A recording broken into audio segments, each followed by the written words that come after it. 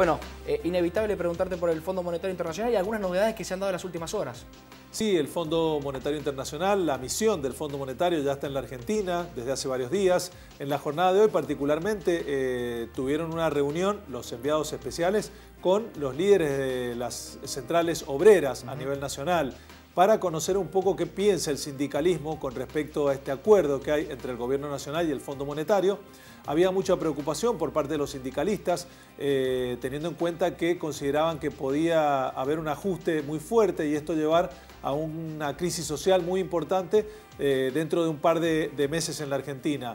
Eh, los enviados del Fondo Monetario les explicaron con mucho más detalle cuál era el acuerdo puntual que tenían con el gobierno nacional y básicamente cuáles eran las principales variables macroeconómicas que estaban siguiendo y por qué, desde algún punto de vista, este ajuste iba a ser beneficioso en el futuro para la Argentina y que iban a tratar de evitar que algunas eh, recomendaciones del fondo eh, lograran tener algún costo social importante para dejarlos medianamente tranquilos. Así todo, los sindicalistas se fueron con cierta preocupación porque entienden que desde este punto de vista el ajuste va hacia los sectores eh, laborales más necesitados.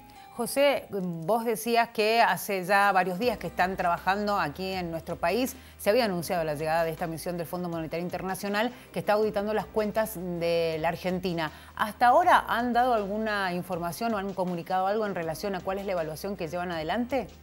Bueno, la evaluación es bastante prolija desde el punto de vista técnico.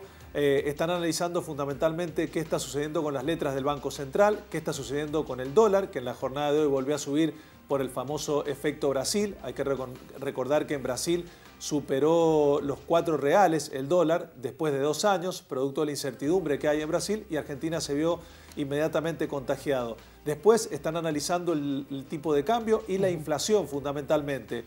Hay ahí este, un pedido de, perdón por parte de la Argentina para que le permitan esa, esa variable que tenían del 32%, dejarla flexible para el año que viene porque la mayoría de las consultoras privadas hablan de que probablemente la inflación de este año supere el 32%.